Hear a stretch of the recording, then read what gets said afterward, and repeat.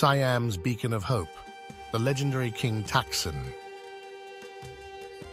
In a time when the land of Siam was submerged in darkness amidst the chaos brought upon by the Burmese conquest, there arose a hero, a beacon of hope for a nation desperately seeking a savior.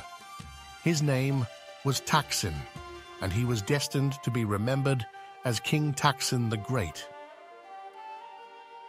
Before his rise to prominence, Taksin was a military officer of Chinese and Thai descent, known then as Sin.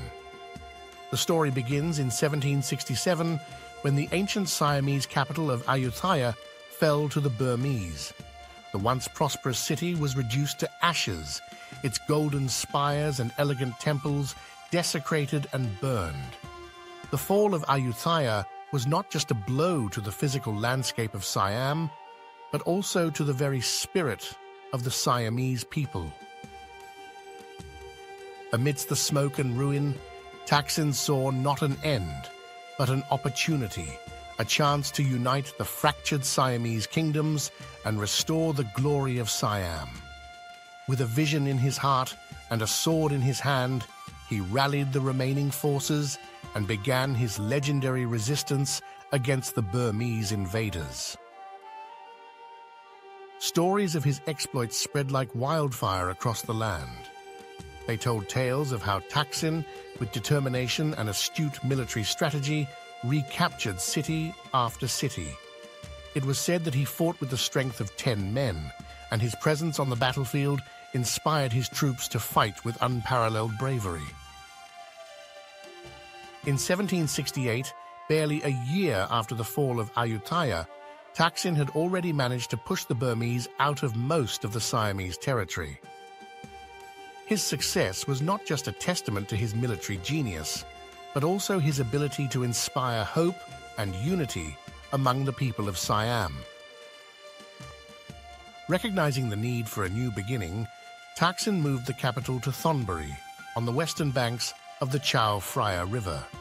And there, in 1768, he established the Thonburi Kingdom, crowning himself as its first king.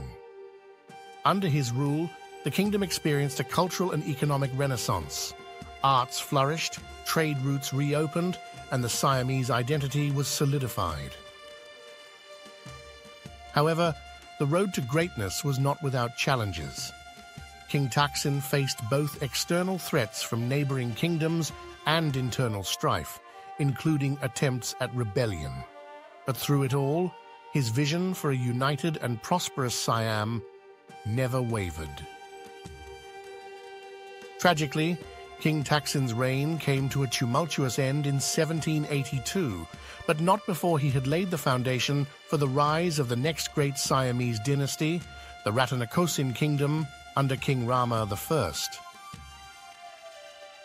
King Taksin the Great's legacy is not just in the territories he reclaimed or the kingdom he established, but in the spirit of resilience, unity, and hope he instilled in the Siamese people. Today, he is remembered and revered not only as a warrior and a king, but as a symbol of the indomitable Thai spirit. In the annals of history, Taksin shines brightly as the hero who rose from the ashes of Ayutthaya to give Siam a new dawn.